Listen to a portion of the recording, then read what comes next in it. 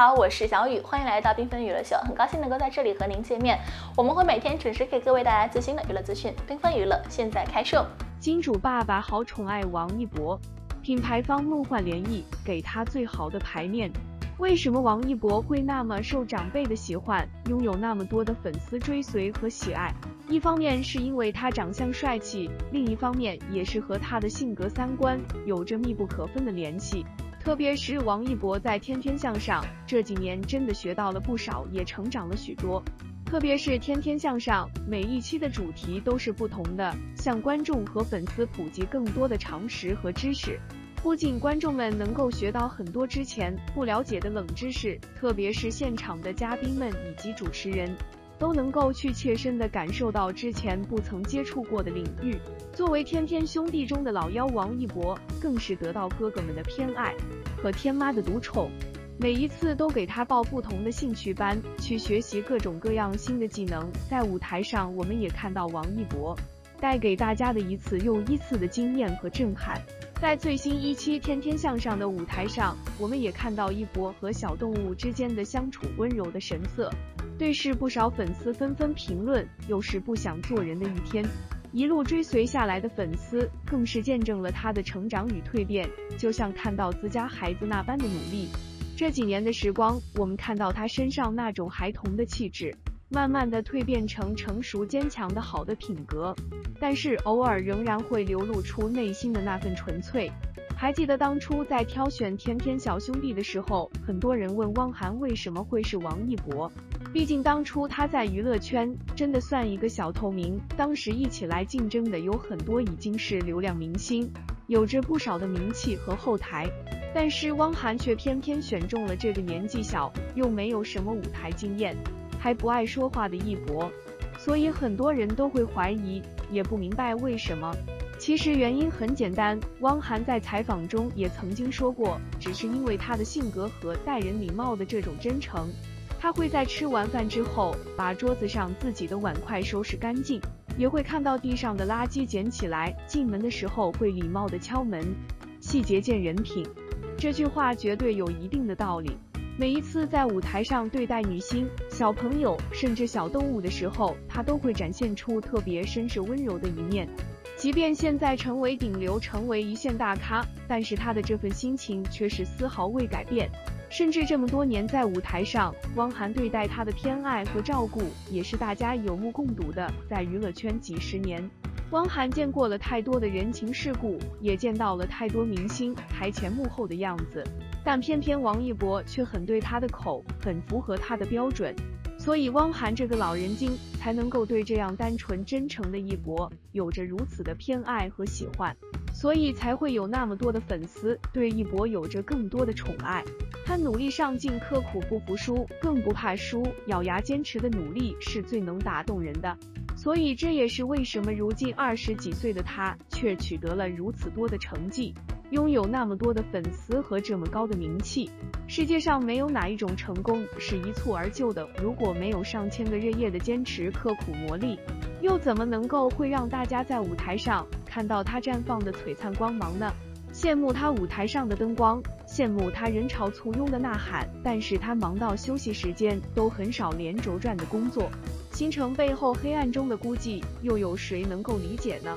都说他代言多资源好，但是每个人的时间都是有限的，二十四个小时平均分配，为什么他能做那么多自己喜欢的事，还能做好自己的本职，而普通人却总是有各种各样的理由借口去懈怠去偷懒？每一个喜欢他的人，都是在他的身上看到了我们自己想变成的样子，或者是渴望成为的样子。他是能够带给我们动力，带给我们满足，更是能够带给我们前进方向的一个存在。只有真正的粉丝才能够去了解到，他根本没有太多自己的自由时间，大部分的时间都是在工作。一方面又要进组拍戏，还要录制每周的《天天向上》。而他的行程同样也是真的很忙，代言也特别的多，而有那么多的金主爸爸选择和他合作，也是一个非常正确的选择。从衣食住行到吃穿用度的王一博所代言产品，方方面面涉猎很广，粉丝自然也非常开心。甚至在这些品牌方之间们还有梦幻的联动，专门定制很多专属一博的，充满了特别多小心思和宠爱。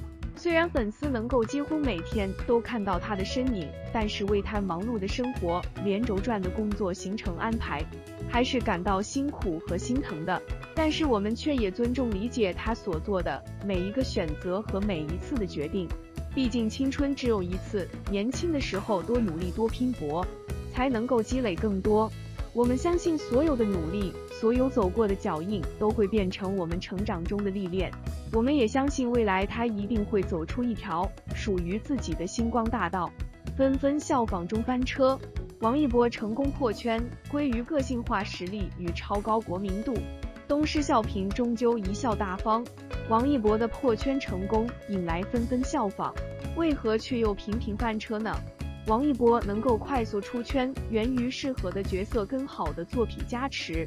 同时，作为《天天向上》的常驻主持人，让他的观众缘备受瞩目。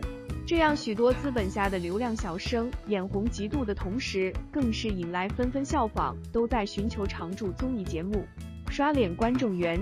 如今效仿王一博的大有人在，却呈现的皆是他防翻车的状况，甚至就连他的商业代言都成了效仿重点。归根到底，只能说想要模仿还是需要自身实力雄厚才可以。王一博成功的地方就是有着过硬的业务能力跟傍身的作品。王一博的独树一帜不仅是有着天天向上的加持，更重要的是他个性化的实力，舞蹈能力在一众小生中太过于出彩。从这就是街舞中就足够看出专业水准跟舞蹈实力不同寻常。业务能力是无法效仿的，舞感是常年练就的，再加上他个人的先天性优势、个性化跟辨识度超高的颜值，得天独厚的骨架，让他的个人形象足够出众。效仿的前提就是你得需要有他扎实的能力。抛开别的不说，就单凭他的舞蹈实力，加上个性化的颜值，在当下的娱乐圈总会有他一席之地。就事论事，他的综合能力太抗打。再加上作为当下九十五后的年轻一辈，无论天赋跟个性化热爱都足够的受追捧。从街舞到滑板，从摩托车到魔术，他的兴趣爱好都被他发挥到了最大程度。这个国民认可度是毋庸置疑。好多人说会玩这个的大有人在，比他好的到处都是，可是综合下来都玩出名堂的又有几个呢？同样抛开这些，回到他的国民认可度上。他常驻的节目《天天向上》给他的加成足够大，在这里，王一博可谓是完成了他的人生价值观跟世界观的塑造。文化类的节目，作为一所社会性大学，各行各业的精英，足够让他遇到优秀，铸就了他的视野跟文化积淀。五年时间的孕育，成就了他的人格跟精湛的文化内涵，这个是当下所有小生都无法匹敌的。这所学校绝非浪得虚名。王一博身上的那股好学、努力、勤奋的劲，从如今的爆红就看得出来。他耐得住寂寞，足够的自律。别说人家天赋异禀，夸大其词了，但是他的学习能力跟领悟力、抗压力确实异于常人。这是他借由《天天向上》这个平台呈现跟收获了足够的国民度，这得益于他低调、谦虚、好学的个性。你想来效仿，着实也需要时间跟实力，刷一下存在感。没有足够的能力，终究是要下车的。当下的娱乐环境，观众都不傻，能力扛不抗打，火眼金睛，一眼便会看穿。王一博的成功破圈，是他个性化实力的呈现，更是他在观众眼皮下成长起来的。他的人品跟国民度都是日积月累形成的。冰冻三尺，非一日之寒。模仿终究活在别人的阴影下，想要超越，就需要足够的实力来说话。